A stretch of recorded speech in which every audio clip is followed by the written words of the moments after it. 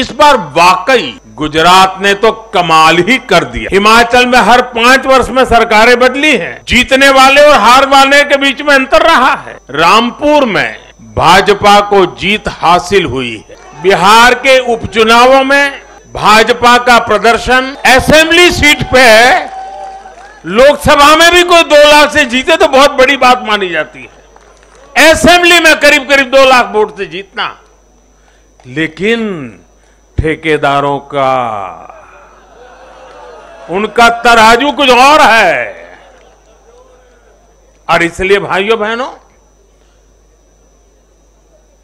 हमें निरंतर विपरीत इन जुल्मों के बीच में आगे बढ़ना है। हमें अपनी सहन शक्ति को बढ़ाना है। हमें अपनी समझ शक्ति को बढ़ाना है। और हमें हमारे सेवा भाव का विस्तार भी करना है, हमारे सेवा भाव की गहराई भी बढ़ानी है और सेवा भाव से ही जीतना है। क्योंकि जो जहाँ बैठा है, वो बदलने वाला नहीं है। उसका इरादा नेक नहीं है जी। और इसलिए हमारी कसौटी है हर पल। हमारी कसौटी है। और मैं तो कभी कभी मानता हूँ और खास करके 2002 के बाद मैं विशेष रूप से मानता हूँ,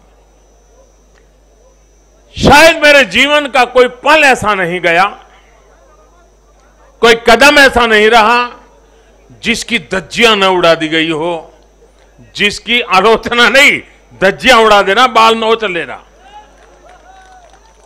लेकिन इसका मुझे बहुत फ़ायदा हुआ, क्योंकि मैं हमेशा सतर्क रहा।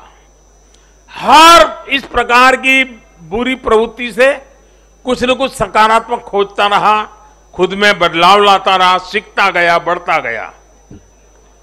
और जिन लोगों को चारों तरफ़ से उछालने वाले लोग रहते हैं, कंधे पर बिठा करके नाचने वाले लोग रहते उनसे सुधरने की भी संभावना नहीं होती है।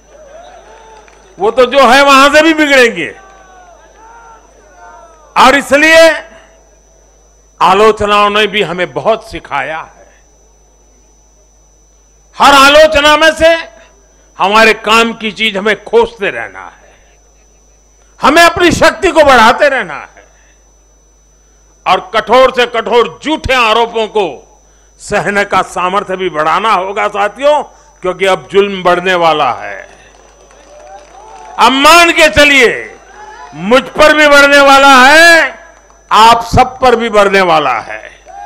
क्योंकि ये सहन नहीं कर पाएँगे। ये पचा नहीं पाएँगे। और उसका जवाब उसका जवाब यही है, हमें अपनी सहन शक्ति बढ़ाना है। हमें अपनी समझदारी का विस्तार करना है।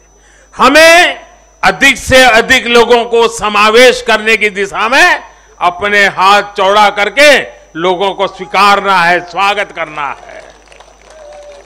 सकारात्मक रास्ता, सेवा भाव का रास्ता, समर्पण का रास्ता, यही मार्ग हमने चुना है, वही मार्ग हमको यहाँ पहुँचाया है, और आगे भी हमारे पुरुषार्थ से परिश्रम से, देश की आकांक्षाओं वाला ये देश भी बनेगा। दो जब हिंदुस्तान आज़ादी के 100 साल मनाएगा विकसित भारत हमारे नौजवानों के हाथ में हम दे के जाएँगे दोस्तों।